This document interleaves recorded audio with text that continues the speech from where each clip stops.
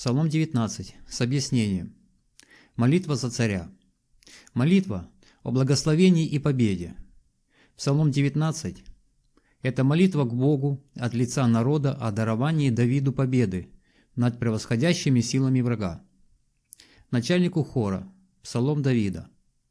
«Да услышит тебя Господь в день печали, да защитит тебя имя Бога Иаковлева, да пошлет тебе помощь из святилища, из Сиона, да подкрепит тебя. Да воспомянут все жертвоприношения твои, и все сожжения твое, да соделает тучным. Да даст тебе Господь по сердцу твоему, и все намерения твои да исполнит. Мы возрадуемся о спасении твоем, и во имя Бога нашего поднимем знамя. Да исполнит Господь все прошения твои. Ныне познал я, что Господь спасает помазанника своего, отвечает ему со святых небес своих, могуществом спасающей десницы своей. Иные колесницами, иные конями, а мы именем Господа Бога нашего хвалимся. Они поколебались и пали, а мы встали и стоим прямо. Господи, спаси царя и услышь нас, когда будем взывать к Тебе. Псалом 19, стихи с 1 по 10. В Псалме 19 мы видим, как люди обращаются к Богу с молитвой за царя, что является важным аспектом их веры и надежды на лучшее будущее. Люди просят у Господа благословения и защиты для правителя. Посмотрите эту сильную молитву за царя и откройте для себя важность поиска Божьих благословений и защиты – не забудьте подписаться на более содержательный контент. Псалом 19. Комментарий. Псалом 19, прославляющий волю Божью, представляет собой глубоко символичную молитву. Стоит отметить, значимость которой выходит далеко за рамки личного опыта царя Давида. Текст псалма указывает, безусловно, на особое значение молитвенного ходатайства за правителей и властей, подчеркивая, несомненно, необходимость возносить Богу молитвы, прошения и благодарения за них.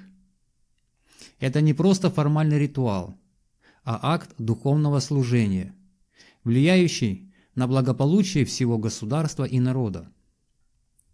Сам псалом, предваряющий благодарственный псалом 20, выстроен как образец для подражания. Он, кстати сказать, своего рода молитвенный протокол, предназначенный для использования как в частной жизни верующего, так и в общецерковном богослужении. Это подтверждается как структурой текста, так и его содержанием, полным образов, аллегорий и молитвенных просьб. Давид как опытный воин – Давид, автор псалма, известен не только как царь, но и как опытный воин. Кстати говоря, он, чья жизнь была тесно переплетена с военными кампаниями. В связи с этим возникает вопрос о конкретном контенте, контексте написания 19 псалма. Существует несколько версий. Первая предполагает, что псалом был написан накануне или во время одной из важных военных операций Давида, когда исход битвы зависел от воли Божьей. В этом случае псалом приобретает характер молитвенного обращения за помощью и защитой не только для самого царя, но и для всего его войска. Молитвенные просьбы о силе, мужестве и победе над врагами прямо указывает на это. Вторая гипотеза предполагает, что Псалом, хотя и основан на личном опыте Давида, имеет более универсальный характер, служа образцом для будущих поколений, верующих, правителей и народа. Он представляет собой молитвенную модель для всякого правителя, независимо от исторического контента. В этом смысле, вдобавок к Псалам 19, выходит за рамки конкретной исторической ситуации и приобретает вечную актуальность. Он обращается к вопросам ответственности правителей перед Богом и нуждам народа, за который они несут ответственность. Псалом 19 Бог – источник сил. Обращение к Богу, как, как к источнику силы, мудрости и справедливости, является ключевым моментом этого псалма. Более того, богословское толкование псалма 19 указывает на более глубокий уровень смысла.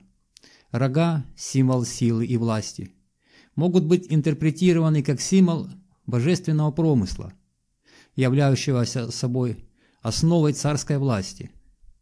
Откровенно сказать, просьба о помощи – это не просто молитва о военной победе, а, несомненно, просьба о божественном руководстве и поддержке в управлении государством, а также, вместе с тем, в обеспечении справедливости и мира для народа.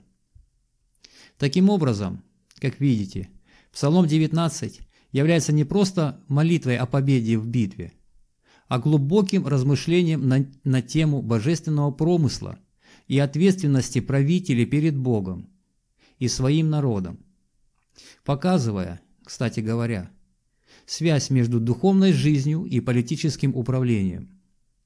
Этот псалом актуален и сегодня, напоминая о важности духовного лидерства – и молитвенного ходатайства за тех, кто несет ответственность за судьбы народов. Народ молится за правителей. В Псалме 19 мы можем наблюдать, как народ обращается к Богу, к Богу с молитвой о царе. И, вдобавок, что это является важным аспектом их веры и надежды на лучшее будущее. В первых стихах со 2 по 5 Народ просит у Господа благословения и защиты для своего правителя. Эта просьба, стоит отметить, свидетельствует о глубоком понимании роли царя, как представителя Божьей воли на земле. Вместе с тем, люди просят о победе в битвах, о радости сердца и о долгих годах правления, что, разумеется, подчеркивает их уверенность в божественной поддержке.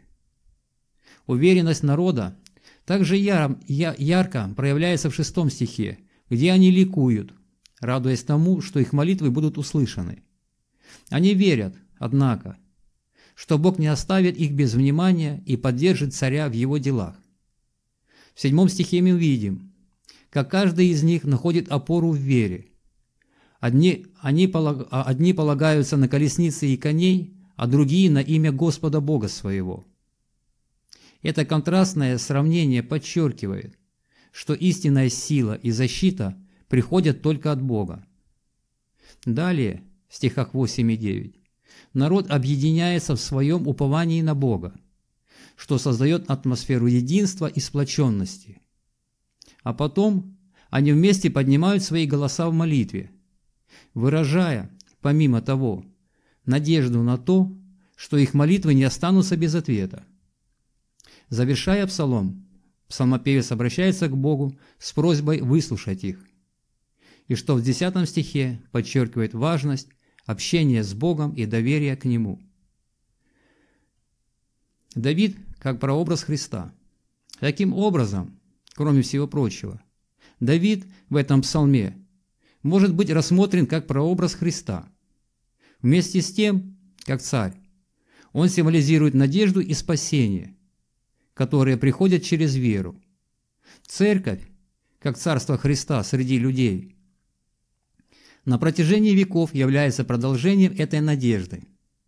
Народ, обращаясь к Богу, показывает, что даже в трудные времена они готовы полагаться на Его мудрость и защиту. В этом контексте псалом становится не только молитвой о царе, но и гимном веры, который актуален и для нас сегодня – Молитва за начальство и власти. Всемогущий Боже, мы приносим пред Тобой нашу молитву за наше начальство и власти. Даруй им мудрость и силу, чтобы они могли управлять нашей страной справедливо и милосердно. Пусть Твоя благодать и милость сопровождают их на каждом шагу, и да будут они защитником и покровителем нашего народа. Мы также молимся о благословении и победе для нашей страны, Даруй нам мир и процветание, чтобы мы могли жить в единстве и гармонии. Пусть наша страна будет местом, где царит любовь и справедливость. А враги будут отступать перед мощью Твоей руки. Молитва к Тебе, Господи, от лица нашего народа. Мы просим Тебя о даровании нашим начальствам и властям победы над превосходящими силами врага. Пусть Твоя сила и могущество будут с ним, и он сможет одолеть любые препятствия на пути к миру и благополучию нашей страны. Мы верим, что Ты всемогущий и всесильный Бог, и Твоя рука не оставит нас в беде. Пусть наше начальство и власти будут Твоими слугами и исполнителями Твоей воли. И да будет наша страна благословенной и защищенной под Твоей милостью. Во имя Отца и Сына и Святого Духа. Аминь. Если вам понравилась запись, или вы получили слово откровения от Духа Святого, конечно, поставьте лайк. Когда вы ставите лайк «Мне нравится» или делитесь рассказать друзьям, в результате вы помогаете служению спасения и распространению Божьего Слова. Подписывайтесь, делитесь и передавайте привет братьям и сестрам. Аминь.